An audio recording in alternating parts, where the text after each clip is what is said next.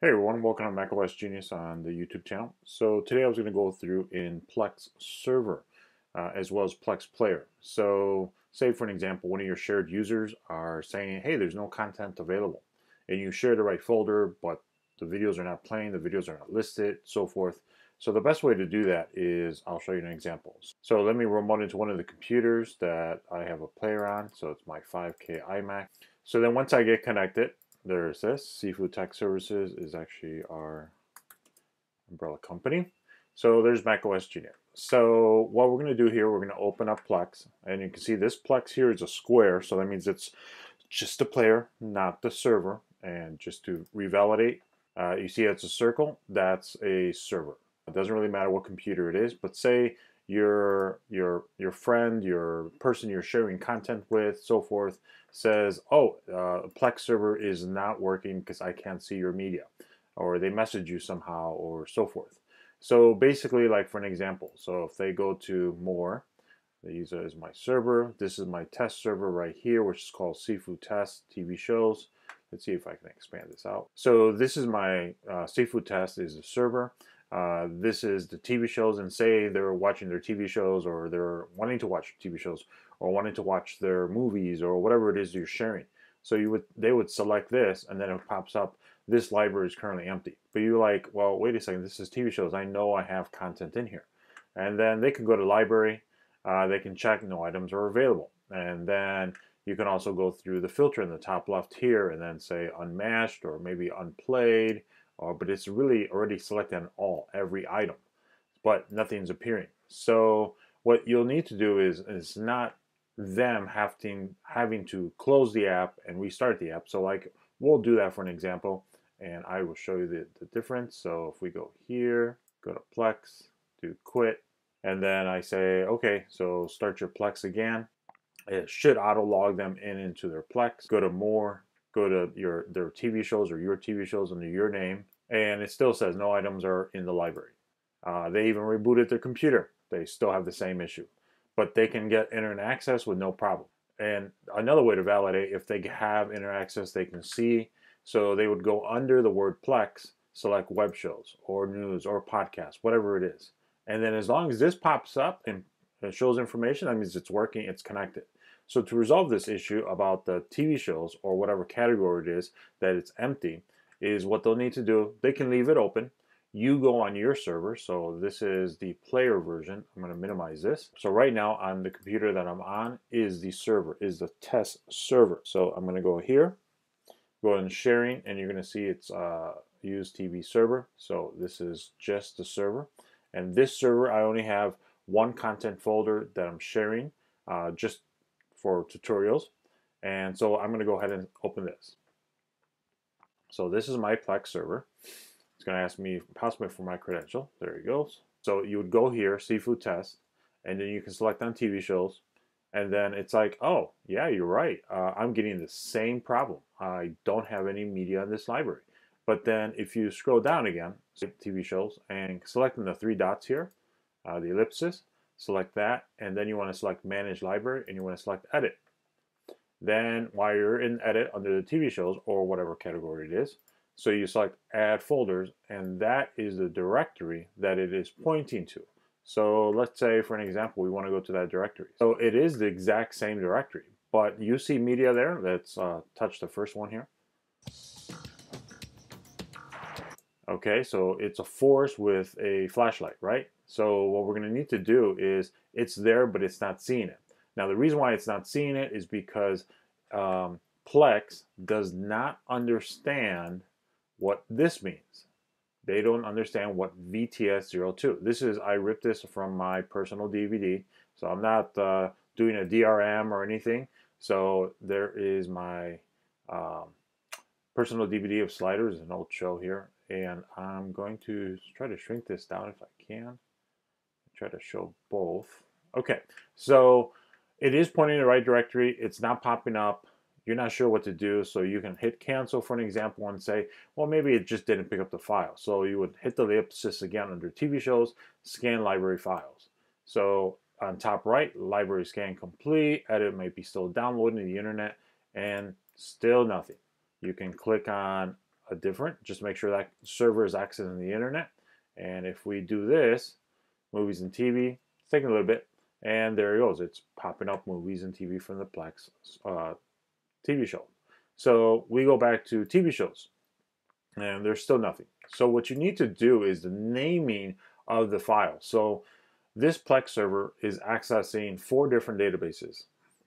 Uh, the two I know for sure, it's well, this is actually category TV show, but uh, TV show has TV, just like TV, and then it says DB for database, and it accesses this this database and these other databases as well out there that it tries to find out what this meta information has or the naming of the file. If it doesn't have the metadata already in it, it will have the, uh, the, the file name it looks up. So what you need to do is like say for this one, uh, which was what what was it again? It was uh, the forest with the flashlight, right? So let's see.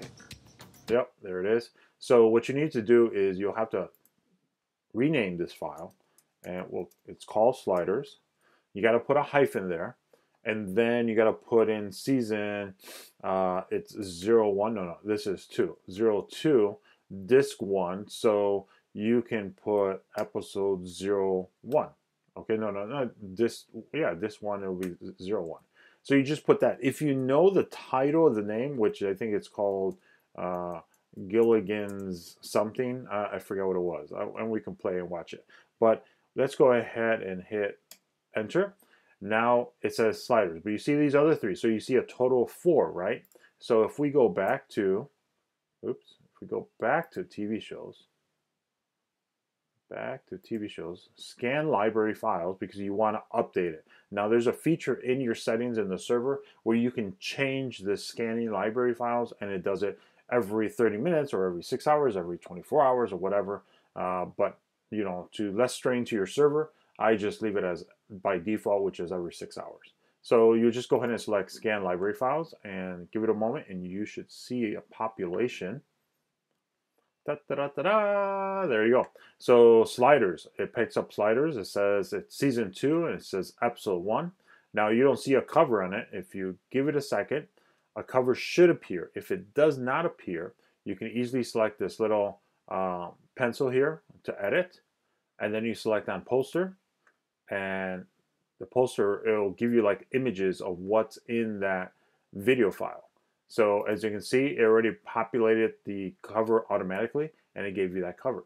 But if you can see if we go to library it actually shows you a little bit more detail. So recommend it just shows you that's the season in the library it actually shows you there is one item in this but you see there's th there's total four in this video uh, in this folder so let's say if we go to the fifth one, okay, let's open that. The end. okay, it's a bridge. So if we change this, and we'll just call this something different. You can call it sliders, which I will do right here. And you have to spell it correctly. If you don't, it's not going to pick up that uh, video file or audio file that you have. So season 02, uh, episode 05, we'll call it. Okay, and because it's, it was originally five. So if you hit okay, you see it up there. Now there's two, and on your server, go back to the TV shows and then select scan library files. And there you go. Now there's two files. So now you can do is you can, it says two. So you can click on it and it should show you the main cover and the season cover. So the main cover is just because of the TV show, season cover because all the different seasons will have different covers for it too. So if you hit somewhere in the general area, empty area, not the play button or so forth. Just hit this general area. Then it breaks it down and it shows you the two episodes. So this is episode one. So episode one was a forest with a flashlight. So you want to touch that. And there you go. Okay, so that shows. And then this one here, episode five, appeared to be a bridge in the water. The okay, so you know that's working. So in regards of going back to that individual's player, so now we're going to go to their player. So this is going back. So as you see, it's self-populated already. And this is under, so if we select on Plex Web Shows, just so we can refresh it. go to TV shows, and then they populate automatically and they can play it. So this is pretty much how to correct the uh, process. If you don't know what episode, the thing to do is to watch it a little bit. Um, give it a moment here, and there's a bridge right here down here at the bottom. And there you go. Time again and world. So if here it says El Sid. So because you put season five or episode five, it thinks it's El Sid, but really it's really whatever this name that just popped up. Appear, time again, and world. And you can search that off the internet, tvdatabase.com, and then you can be able to see uh, what episode, what season that's physically from. Okay, so that basically explains how to do that. Now, the other thing is, in case, what if you wanted to and you wanted to change one of these, like say this one's season five. Let's see, can I revert back? Yes, I can. So, what if you wanted to, and this is what you're gonna have to do research on your own. Uh, but if I type in Knight Rider, the old TV show, season three, we'll say, episode uh, 02.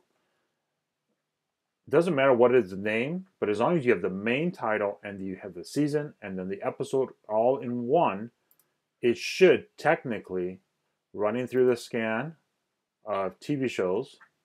And then if you do the scan library files, and that will change. So now I made it one video and then now you have Knight Rider. Even though it's not Knight Rider because now you're gonna hit this, so it pops up with the bridge with the water.